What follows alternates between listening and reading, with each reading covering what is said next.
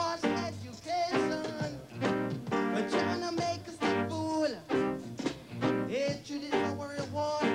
Love. You yell to us, oh, you got. We're gonna chase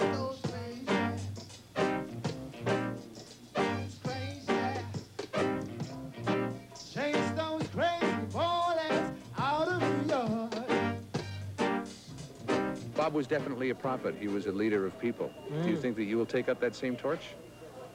Well, me, I, I just gonna try live, live the best, you know? According to the man upstairs, you know? And according to Jah.